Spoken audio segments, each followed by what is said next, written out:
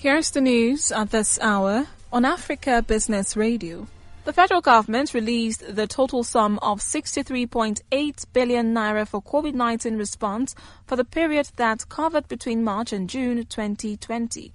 The released amount is 20.097 billion naira lower than the 83.9 billion naira the Presidential Task Force on COVID-19 has budgeted in its proposals.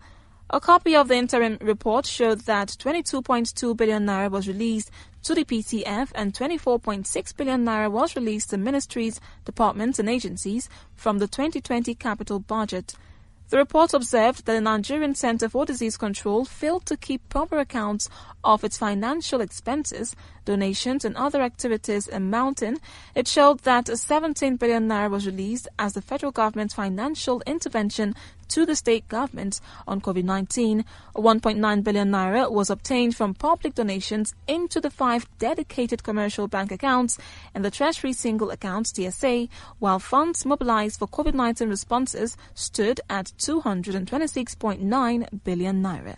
And that was the news at this time on Africa Business Radio. You can continue to listen live online at www.africabusinessradio.com or via our mobile app.